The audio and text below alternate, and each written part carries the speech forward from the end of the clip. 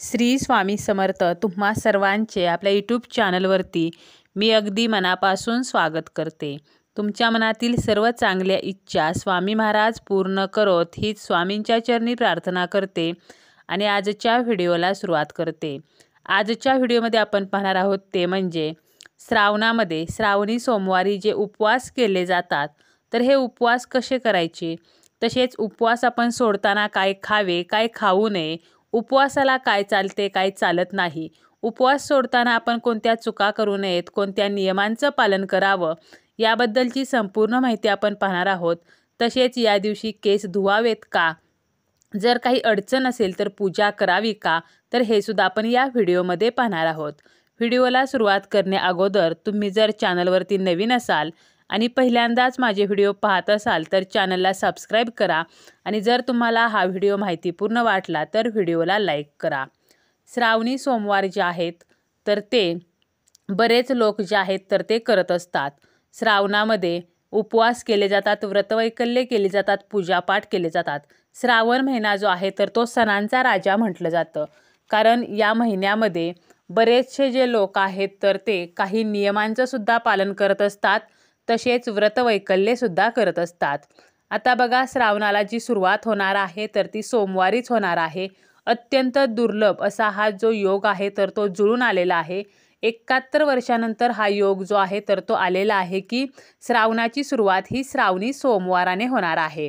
त्यामुळे श्रावणी सोमवारचे आपण जे उपवास करत असतो तर हे उपवास जे आहेत तर ते कसे करायचे आहेत? आता यावर्षी श्रावण जो आहे तर तो पाच ऑगस्टला सुरू होणार आहे आणि पाच श्रावणी सोमवार जे आहेत तर ते यावर्षी श्रावण महिन्यामध्ये आलेले आहेत.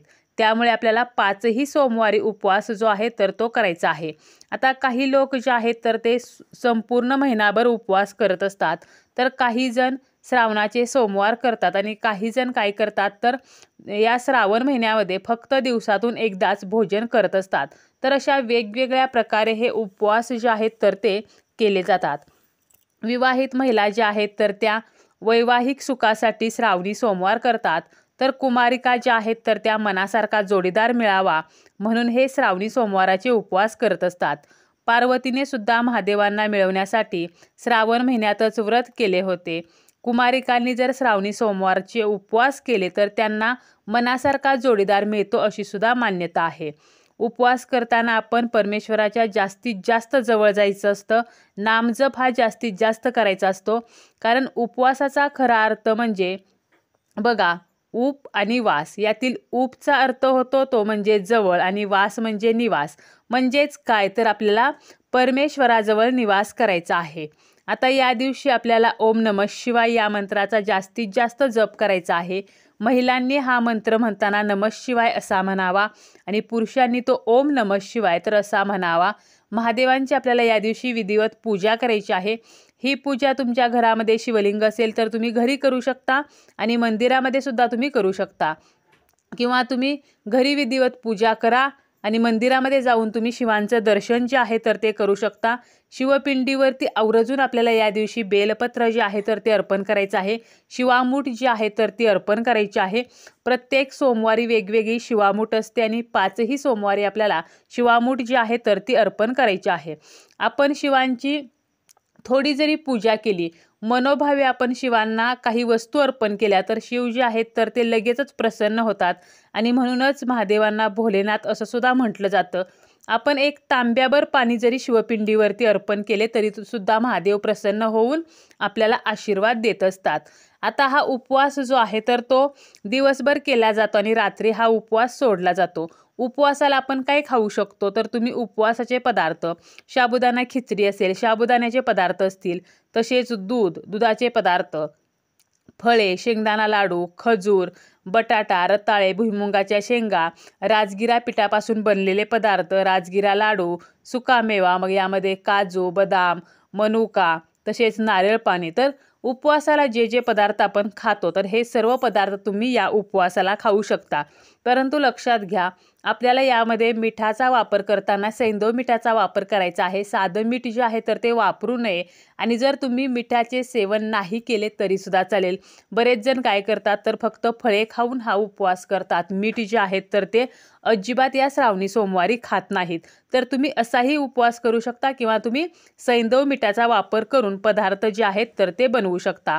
काही भागामध्ये काय करतात तर महादेवांचे जे उपवास आहेत मग बघा श्रावणी सोमवार असतील महाशिवरात्री असेल हरतालिका असेल तर या उपवासाला वरीचे तांदूळ म्हणजे ज्याला आपण भगर म्हणतो तर ते खात नाहीत. आता तुमच्याकडे जशी पद्धत असेल तर त्यानुसार तुम्ही हे वरीचे तांदूळ खाऊ शकता किंवा नाही खाल्लेत तरीसुद्धा चालतील.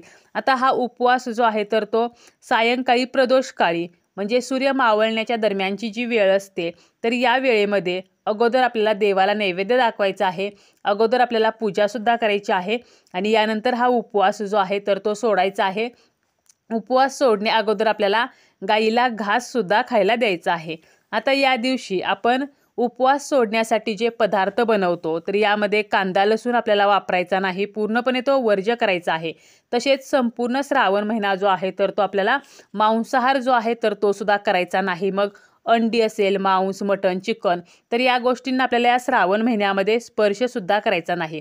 उपवास सोडताना आवर्जून खाल्ला जातो तो म्हणजे मुळा.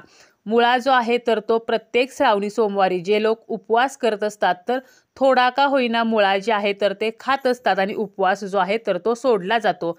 आता उपवास सोडण्यासाठी आपल्याला सात्विक पदार्थ बनवायचे आहेत.